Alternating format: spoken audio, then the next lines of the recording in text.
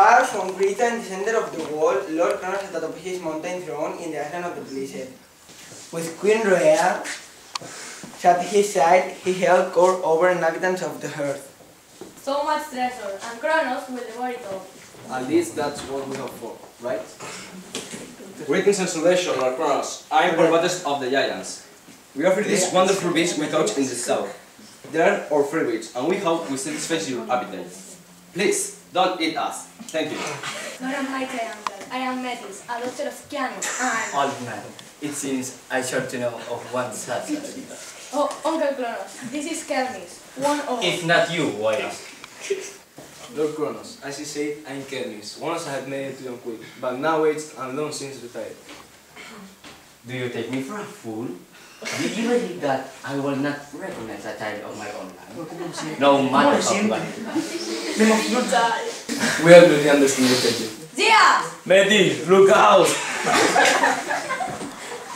I do not know how you escaped the fate of your brothers and sisters, but now you join them in the wedding of Kronos. Look upon me, Gaia. Look upon me, the Titan of the earth, witness of those who oppose me.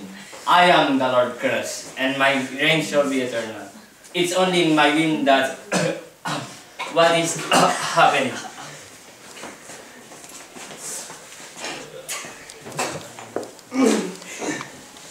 Years her worked, the youngest son of Kronos, rocket across the sky. To his surprise, he held in his arms the limb from the daughter of Kronos. Brought to adulthood in Kronos' belly, she was the most beautiful creature he had ever seen. Her name was Hera. Oh, hello.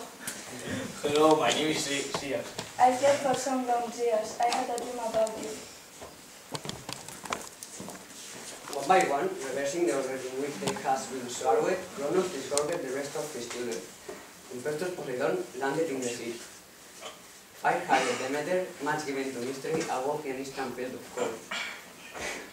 Gloomy Hades, the eldest son of Kronos, crowded from the crater his landing had made. And poor Hestia, the firstborn child, the last relative, had so long, had so long lying, lying in the stomach of Kronos. She's a- almost completely digested, with nearly no form of free out. She's flickered like a flame from the still mouth of her father. Do not think what you have done will go unpunished. Already my brothers come to my aid. Already my strength returns. Prophesy vidam. We will, I will not be beaten by brats like you. In time, we will destroy you. You have had your time in the sun, father. Zia? We will take what we deserve, what we have been denied for so long. Anyway, stay with Coros, stay Sagastas. Goodbye.